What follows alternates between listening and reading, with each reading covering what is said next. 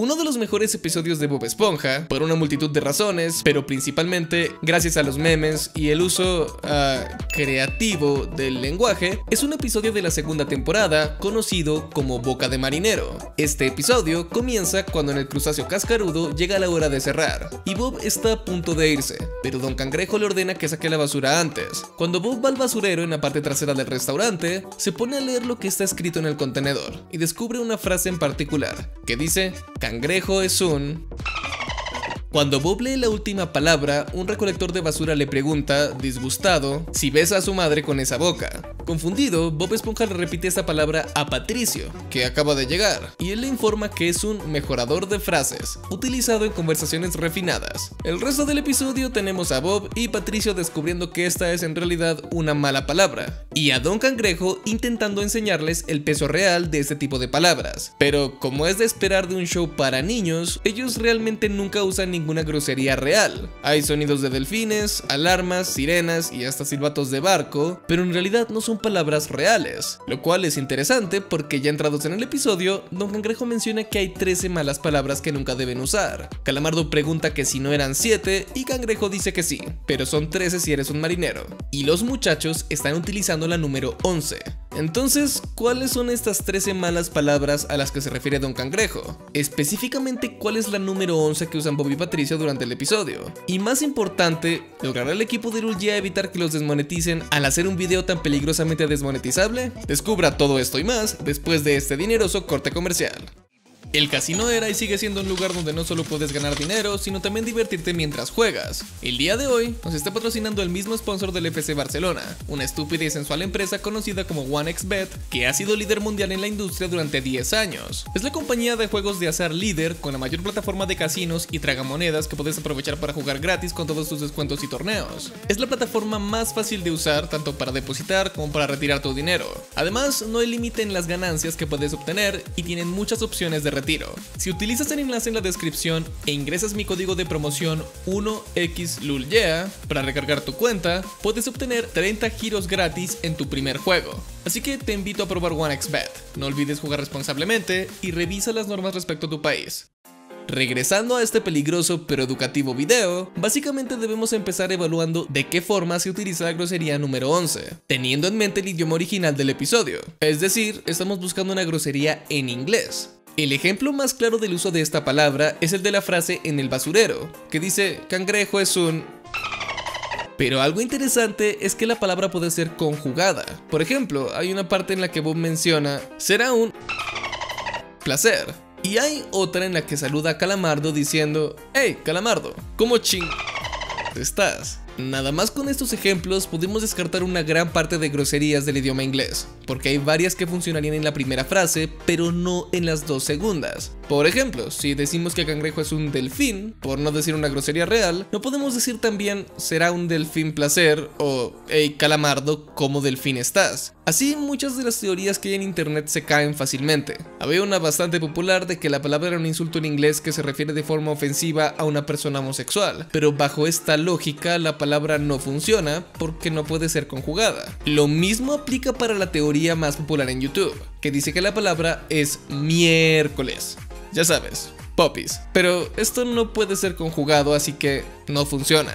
Pero si hablas inglés, hace rato estarás pensando en la grosería más común y versátil de este idioma, una palabra fantástica, única, crujiente y quiricosa. Sí, la F palabra encaja perfectamente, porque puede ser conjugada de muchas formas y fácilmente la frase original en el basurero podría ser Crabs is a mother. Es decir, cangrejo es un hijo de en español. Así que, ¿caso cerrado? No, para nada. Verás, las teorías suelen detenerse aquí, pero hay un detalle que me hizo dar cuenta de la verdadera profundidad de este misterio, y del extraño trasfondo de las groserías en fondo de bikini. Como ya dijimos, según Don Cangrejo, la 11 es una de las palabras más fuertes, ni siquiera conocida por la gente normal, solo por marineros. Y la F palabra es, fácilmente, la grosería más común en el idioma inglés. Es una de las pocas palabras que te puedo garantizar que está en la lista inicial, pero no en la lista de groserías de marineros. Esto significa que la grosería es una grosería avanzada, pero en inglés ninguna grosería realmente ofensiva funciona en todas las frases vistas en el episodio. Así que investigué un poco más y descubrí algo extraño. Este episodio no es la única aparición de la grosería número 11, solamente es la primera. La mala palabra número 11 vuelve a aparecer en algunos episodios posteriores, como muestras gratis de la temporada 8 y el bebé de Karen de la temporada 12.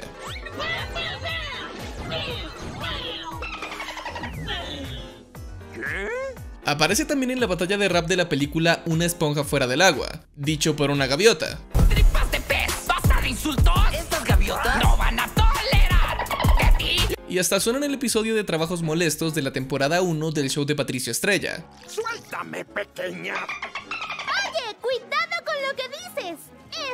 Es un programa familiar. Pero en realidad su aparición más importante es en el videojuego de la película de Bob Esponja. En este videojuego la palabra tiene varios usos. La escuchamos dos veces en Planktópolis y es utilizada por Mindy en el nivel 6, cuando le explica un movimiento de ataque a Patricio en la versión de consola. It's called the smash. Yes, you have to be in the air for the smash to work. Lo que nos interesa es la sección del juego en donde encuentran a David Hasselhoff. Aquí, curiosamente, el nombre de David Hasselhoff cambia por la palabra número 11.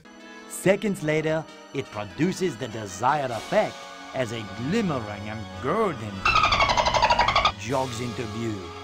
He offers to give them a ride back to Bikini Bottom on his muscular back. ¡Wahoo! Upon arriving over Bikini Bottom, shoots SpongeBob and Patrick down to the seafloor using his massive chest muscles. Ahora, en la vida real, seguramente fue un problema con el uso de los derechos de personaje de David Hasselhoff, y nada más lo estaban utilizando para censurar su nombre. Pero este es el único momento en toda la franquicia en el que la palabra número 11 es directamente traducible. Esto solo sucede en la versión de PC, porque en la versión de consolas ni siquiera se menciona el nombre de Hasselhoff.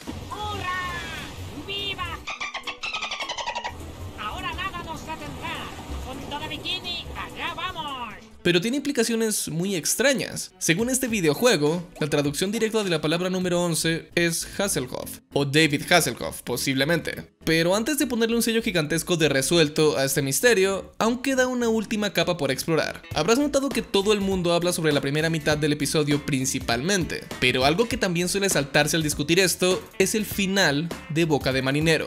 Llegando al final del episodio, Don Cangrejo les va a dar unas latas de pintura a Bob y Patricio para que pinten el crustáceo cascarudo como castigo por usar ese lenguaje. Sin embargo, Cangrejo se golpea un pie con una roca y, sufriendo de dolor, grita las 13 groserías. patas débiles.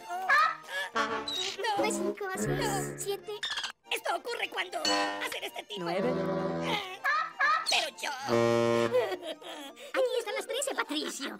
A lo que Bob y Patricio reaccionan con horror y salen corriendo a decirle a la madre de Don Cangrejo lo que acaba de pasar. Al abrir la puerta es recibida por una sinfonía de groserías de parte de los tres, lo que la hace desmayar. Al despertarse los regaña por sus bocas de marinero y los pone a pintar su casa. Después de un tiempo, la mamá de Don Cangrejo decide llevarles limonada, pero se golpea un pie y grita de dolor, acompañado del silbato de un barco, es decir, una grosería. Los muchachos se escandalizan, pero resulta que en realidad el sonido era la bocina del auto del viejo Jenkins, y el episodio termina. Sí, me oíste bien.